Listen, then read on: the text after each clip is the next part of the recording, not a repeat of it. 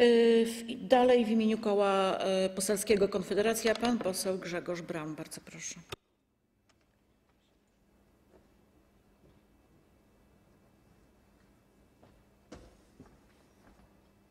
Szczęść Boże, Pani Marszałek, w pracy dla Ojczyzny mm, i wesołych świąt.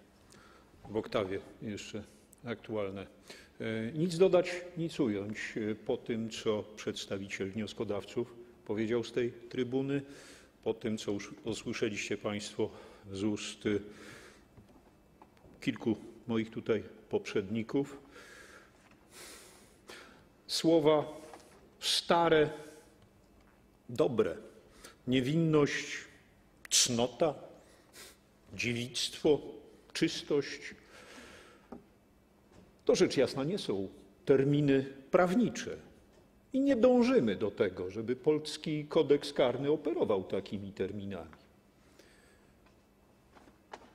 Pamiętamy jednak, przynajmniej część z nas w tej dziś przecież tradycyjnie opustoszałej Izbie, pamiętamy, że kto by skrzywdził, zgorszył jednego z maluczkich, ten lepiej, żeby sobie kamień młyński u szyi uwiesił.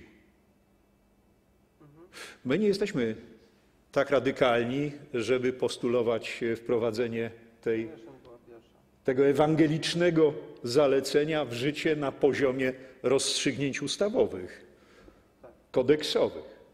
Ale działamy w stanie wyższej konieczności.